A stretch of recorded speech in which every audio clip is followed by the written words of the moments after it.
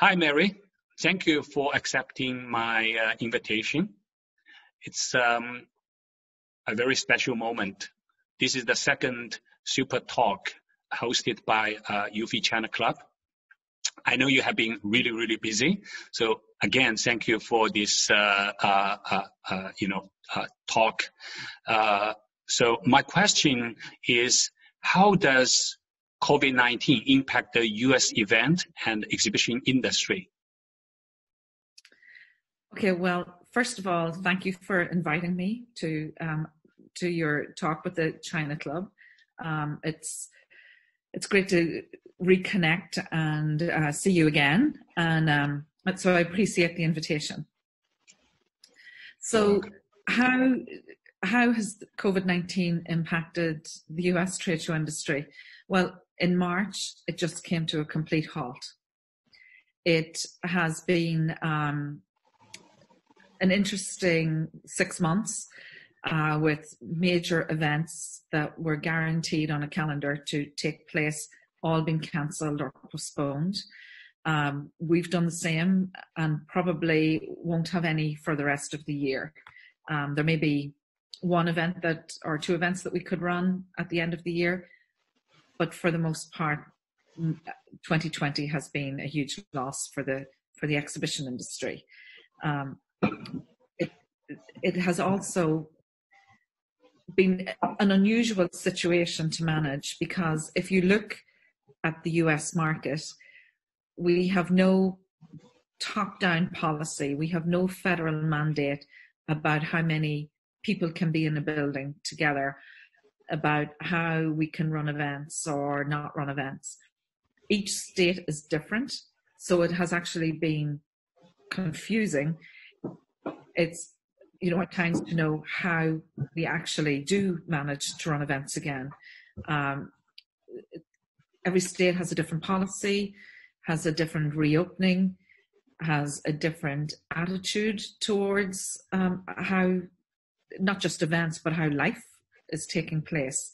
And in many cases, they've had to roll back reopenings and reduce. Like if you look at California as an example, there's no plans to have no discussion about hosting shows in 2020. And other cities, there were events that took place yesterday um, in Florida, small events, yes. And I've been hearing about a couple of events that may take place in Las Vegas um, throughout the towards the end of the year. Um, actually, some in October. So we're watching very closely how the rest of the world is reopening. Um, we're obviously looking at your shows in China um, has been very positive for us to see. Um, and then looking at Europe reopening, you know, UFI uh, Kai today was in Berlin at a show. So things look different, but the impact has been enormous on our on our industry in the United States. Yes, thank you for introduce uh, the situation in U.S. Uh, that's also uh, uh, bring me to the very beginning of we start to open up the China trade show uh, industry. Uh, start with a kind of a try out uh, events in Changsha and then later on a real international show in uh, Shenzhen uh, so we have been uh, uh, going going through that careful, difficult situation to start up again our events industry. recently, China is doing quite well a lot of show uh, opening with uh, some experience gathered from the very first shows. So I know you have a lot of uh, uh, challenge. Uh, so what is the biggest challenge U.S. industry facing? What steps the U.S. events industry uh, take to mitigate impact of the COVID-19? Okay, so there's been a variety of things that the industry has done. I will say the first thing they've done is collaborate very closely. They have been very open with each other about what's happening with events. Um, they've been very inclusive in conversations. Um, I would say also they have the industry itself has leaned into obviously digital events or digital products, more webinars, more. There's been a real drive to keep connection with your buyers and sellers, and to be able to to be able to to keep the connection not just with your customers but but in other events we have been able to do a lot more where there's content so as an example the confex model so the conference content we've been working towards virtual events. And you know i am part of a lot of groups where we have a discussion is virtual the right word? But for for today's purposes i'll use virtual um, where we're just trying to bring industry information um, like businesses are still continuing. So how do we help them facilitate conversations? How do we help them network?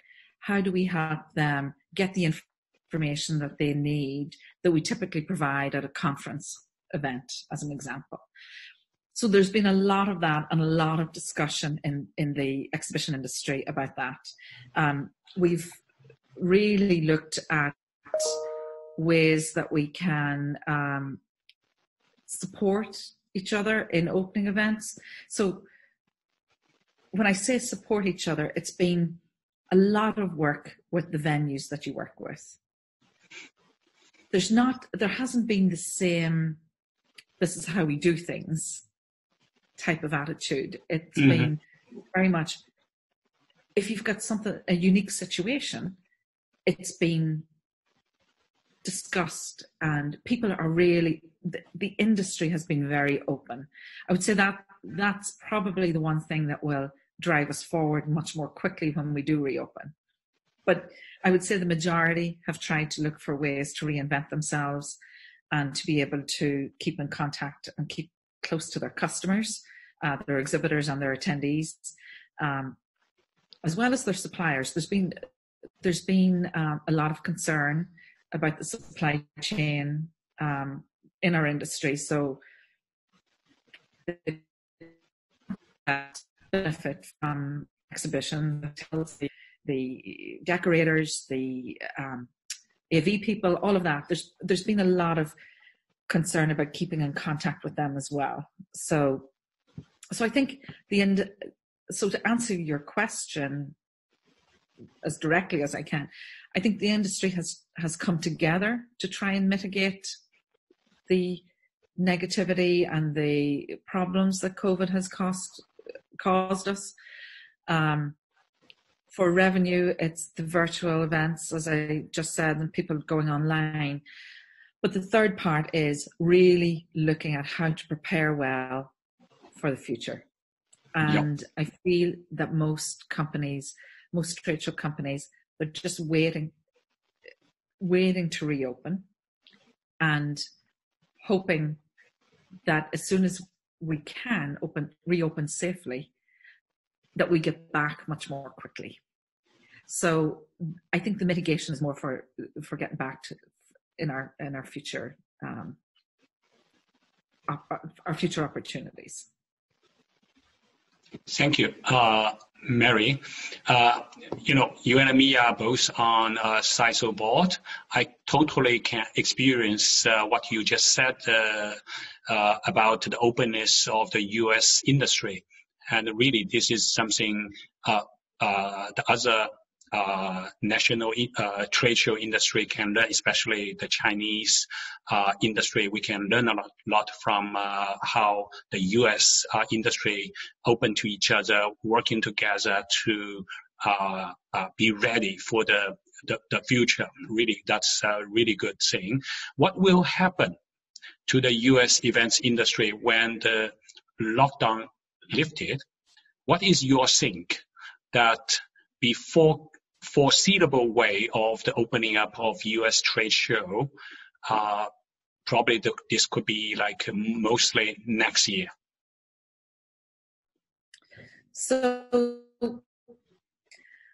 uh, there's a part of me that hopes that the human desire um, to be face to face and meet people again, that that drives the reopening quicker and, and the return to business much more quickly. And I think that that will happen. I have a few friends who said I'm crazy, but um, but that it, it will be slow. Uh, I think my observation has been that there there's a change of sentiment every three or four weeks. Mm-hmm. At the beginning, when we all collaborated, and I, and and I would say I, will give a shout out to UFI and all the work that they've done. They have talked about um, collaboration, not competition, and that's what we've seen. But when the events reopen, I think we will have different safety protocols. We'll be much more transparent with the cleaning protocols that go around a show. I think our industry has learned a lot. Personally, I I feel that they have learned a lot that we don't have anyone advocating for us.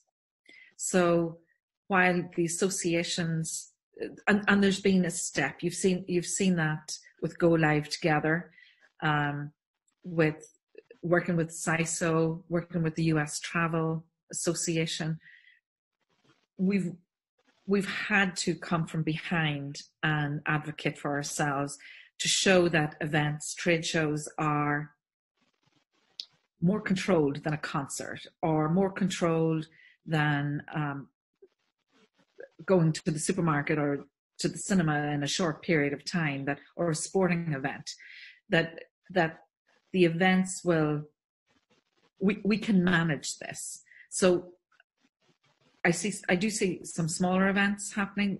It's going to take a while to get back to the large events um, that we've had, and I think that that depends on the industry as well and how comfortable the industry is.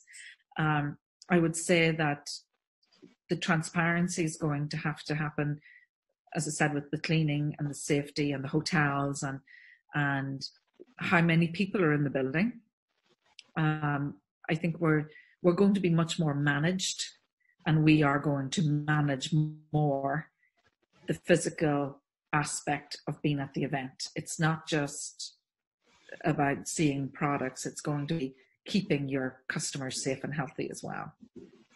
And I also, I, but I do think, um, I, I think that as we drive forward and start to reopen events, I think I do feel uh, maybe it's maybe it's my hope that people will want to get back quicker. And I am starting to see, like when I said about things changing every three to four weeks, it was about reopening events, and then it was about customer confidence. And I think that that's going to be the key. Are customers going to be confident enough to come back? And I think that that's going to vary industry by industry.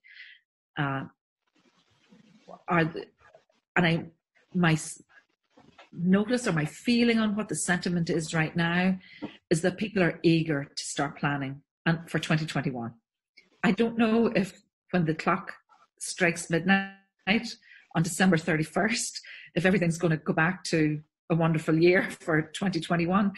I, don't think that that's that's going to be the case, but I also think that there there is a desire to move forward, and it may be that we are in better shape. Like if we look at the possibility of a vaccine before the end of the year, you know, you've got some people who won't leave their homes until there's a vaccine. Um, you've got like the wearing of masks in the US, you know, very common in Asia. That's becoming more of a norm. Um, in, in not in every area, but but in many.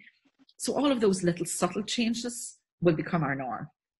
And then I'm hopeful that, you know, when that rapid testing um, will help. Like I, you know, the, the experience of going to an event where you know that if everyone is tested on the way in and you know that that event is safe and the people who've tested positive for COVID are being taken care of by health authorities or or having to go into quarantine or whatever whatever the protocol mandates, um, I think people are going to feel very comfortable.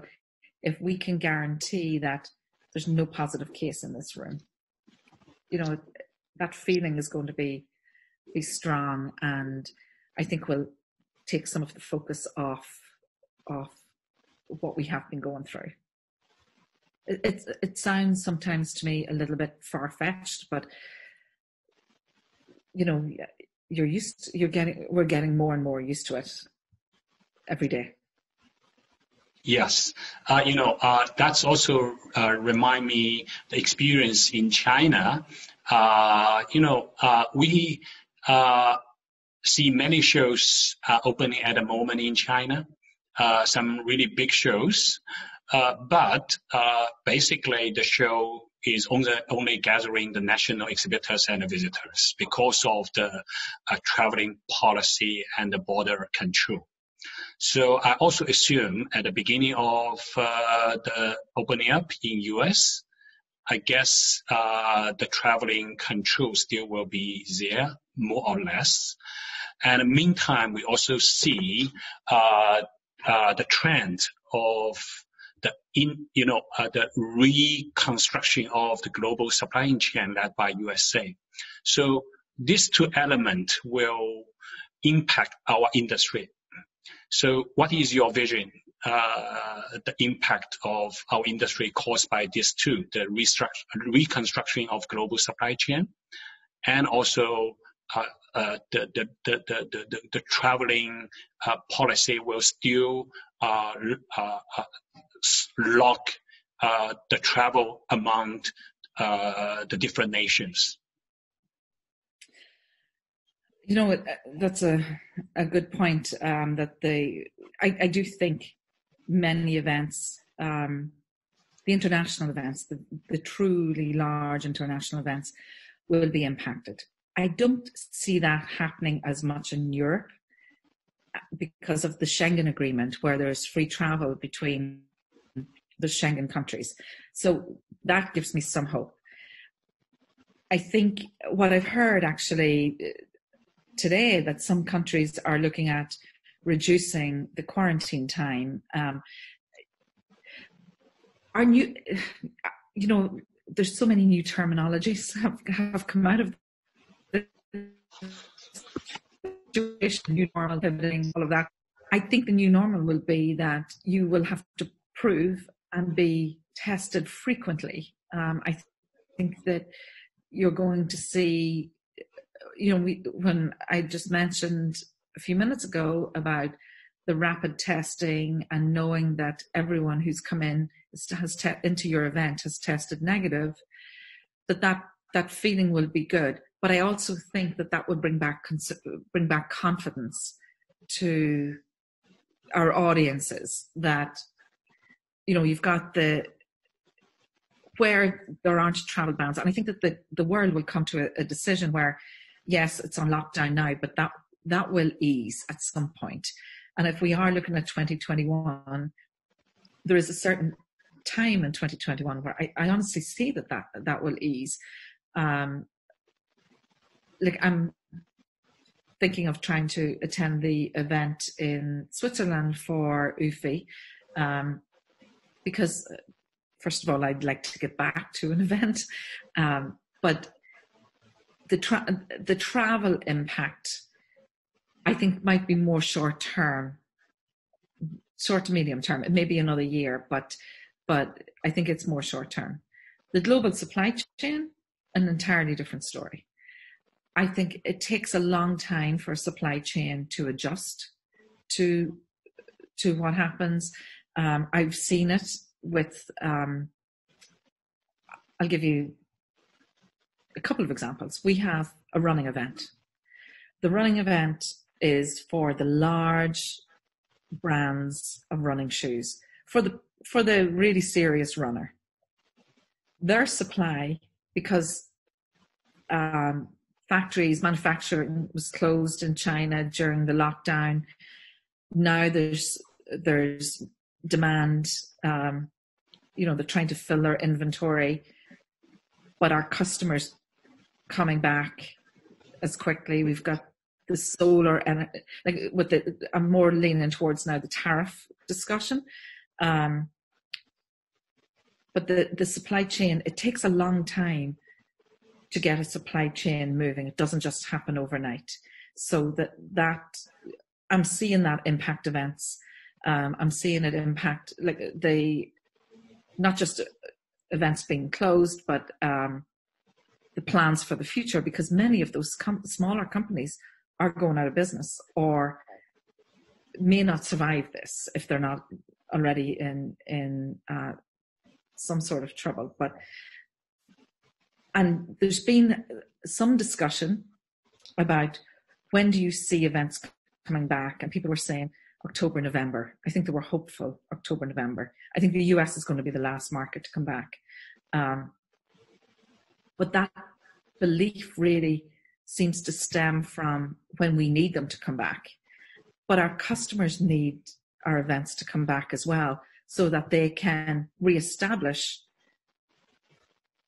where they get their supplies from, where they get their product from, um, you know what, how, uh, but it, it, it it will take a long time for that to reestablish um, or to, to become clear, to, you know how things are are improving or changing or adjusting. Um, I think it, it's that's going to take a while. Yes, I agree with you. The restructuring adjustment of the world uh, supply chain probably is more as a positive influence to our industry because the company has to uh, gather more supplying and demanding information to, uh, let's say, survive or to develop their business in the new normal, new structured uh, uh, chain. So our industry can play a quite important role in this trend. So that's my observation. So my last question, uh, Mary, as the UFI chairlady, what is your vision of the future changes of our industry after global epidemic? Well, as I mentioned, um, I think I think the safety protocols will become second nature to us. Mm-hmm. I think the the cleaning, the how we travel, um, how we run events, how we manage people, how we manage registration. Like, will will that be touchless registration? Um, I think we will rely on technology even more than we have. I do foresee that that um, virtual events, and now we have to have them. We rely on them. So I think that the positive that would come out of that is we will have much more connection, much more frequently with our customers, not just once a year. I think we will be able, we'll be a little bit more nimble than we've been. Um, I think there will be an acceptance of how shows look and are run that will be different because it really will be, as as you just said, what is positive for our, our industry, this global supply chain shift will be positive for our industry, but I think it will make people realize the importance of events. I would say that the one positive thing that or, there's been many silver linings with this, but but one positive thing is our customers appreciate the value of of our face-to-face events even more than they ever did. I don't think they understood just how important they were before. I think for the small to medium size enterprise, events are much more vital to their success. I've seen it in my own customers commenting on a story saying, I relied on that event for my annual business. I relied on that, on that event for new business. And they'll see events more as problem solving as opposed to just going to an event. And, and, you know, in tougher times, you know, the last, the financial crisis as an example, the large events, you know, if you had the number one and number two event in your industry, more than likely you took a less of a hit. I think the smaller events will probably come back, come much more quickly. There'll be some more regionalization. There'll be some more um, different formats. So, so I, I, while I see the changes, the practical changes on cleaning and all of that, we'll have to be transparent about.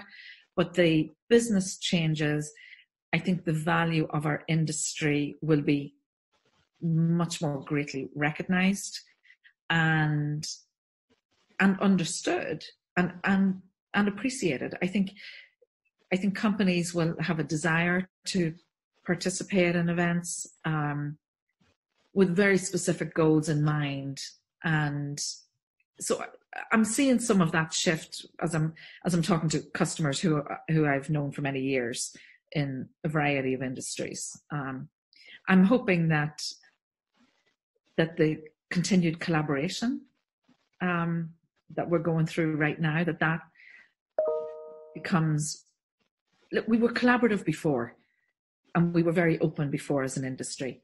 I think we'd be even more, more so in the future. I think there's very much um, a desire to share information.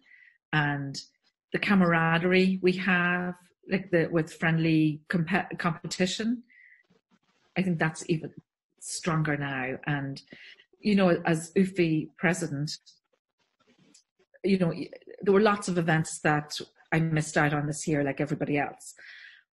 But I feel like I've actually gotten to know many people better um, throughout this process because I'm, I'm, seeing them more often on board calls or on me- uh, uh, different meetings or um, webinars and so on. And I think that that that will continue. I think I think we'll come out hopefully stronger. Um, than, than we were prior to this.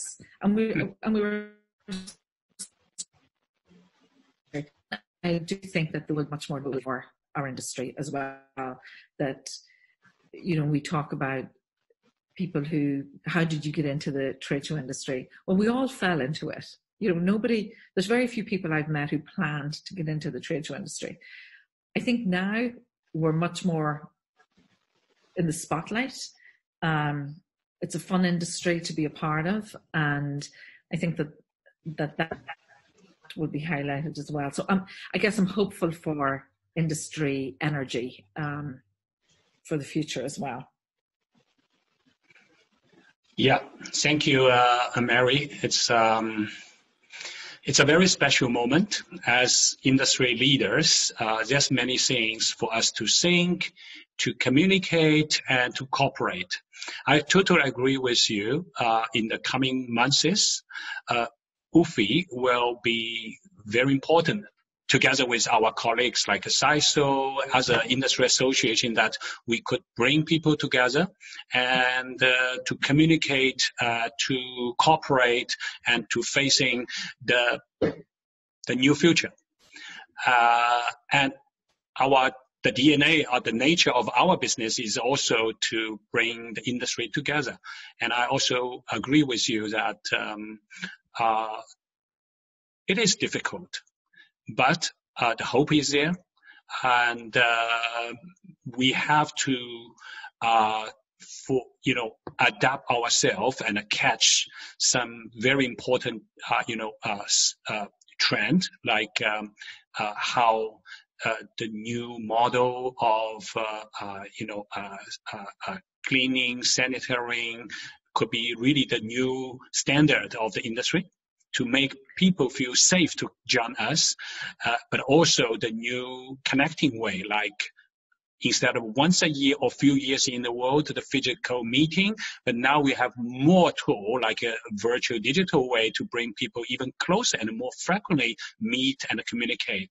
So thank you for your experience hearing and uh, following to your thought, we it's much clear for me, but also for our colleagues uh, that uh, uh, uh, uh thinking and seeing uh, the future of the industry. Thank you. Thank you, David. I, I, there is one thing um, I think I'd like to add and it's just sort of crossed my mind when you said about the new communication and the, the way we we can interact with our customers um, ar- around the world. The other thing that's come out of this that is positive is we now have, because of the way the events industry has moved to accommodate virtual and digital connections with our customers, we've opened ourselves up to a new audience as well who may never go to an event. So I have one um, event that we have something like 400 um, new attendees. So it's a conference, uh, 400 new attendees that would never travel and they've just signed up for a virtual event only. So I think we have to look for the opportunities as well. And it's been tough for our industry. Um, it's been a, a very hard year. And you're right about the uncertainty that we have faced, that we are going through now and making decisions about the future and so on.